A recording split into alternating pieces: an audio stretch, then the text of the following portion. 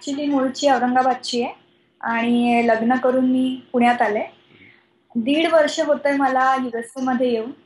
तर आधी मी San Antonio मध्ये होते. आणि आता दीड महिन्यापासून मी डॅलसला शिफ्ट झाली आहे. मी फिजिओथेरपिस्ट आहे. आणि मी सायमल्टेनियसली लायसन्सिंगचा एक्झाम करते फिजिओथेरपीची एक्झामची तयारी करते आणि सायमल्टेनियसली गाणं पण करते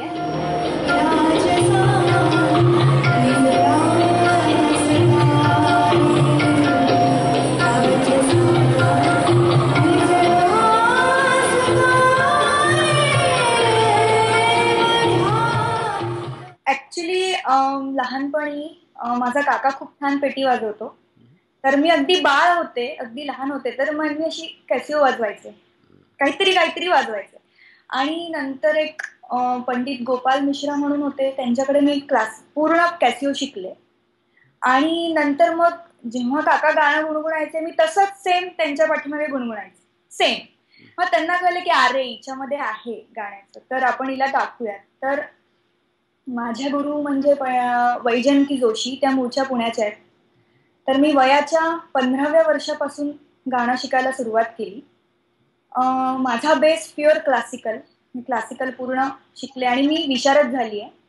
माझं विशारद झालंय. आणि मी सायमल्टेनियसली भावगीत भक्तिगीत आणि ठुमरी सगळं शिकले. एकाच गुरूंकडून शिकले त्यांच्याकडनंच. पण माझा पूर्ण बेस आणि भर क्लासिकलकडे ऍक्च्युली लहानपणापासून मी मराठी आणि हिंदी दोन्ही सारेगम सारेगम दोन्ही बघायचे मी. हिंदी पण मराठी पण. तर आपल्याला सगळ्यांनाच माहिती की सारेगम हा अत्यंत उत्कृष्ट आणि दर्जेदार असा प्रोग्राम आहे. आणि मेन नवोदितांसाठी तो खूप उत्कृष्ट प्लॅटफॉर्म आहे. त्यामुळे मग मी विचार केला की आपण याच्यात जावं.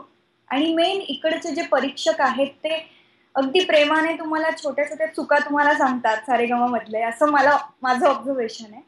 आणि दुसरी गोष्ट म्हणजे की या मंचामुळे भारतातच नाही तर जिकडे जिकडे मराठी माणूस आहे तिकडे तिकडे आपली खूप छान ओळख होऊन जाते. म्हणून मी सारेगमा मध्ये आले.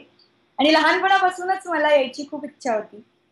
सारेगम ही गाण्याची पंढरी आहे आणि तुम्हाला जर चान्स मिळाला तर तुम्ही चुकूनही गमावू नका. जा आणि गा. आणि अजूनच ऍडवाइस द्यायचं झालं तर मी एवढंच सांगेन की जे गाणं निवडा निवडाल तुम्ही ते तुमच्या आवडीचं निवडा. पूर्ण मनापासून गा सर्वस्व विसरून गा. आपण स्टेजवर बसलो की कुठे बसलो काहीही विचार करायचा नाही.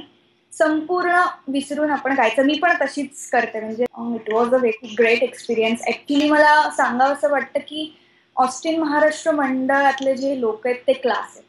म्हणजे त्यांना गाणं समजतं. असं मला वाटतं. कारण कोणीतरी मला प्रत्येक जण येऊन काहीतरी सांगायचं की तू ही मुरकी खूप छान गेली हा तू ही ओळ खूप छान गेली. म्हणजे त्यांना कळतं गाणं.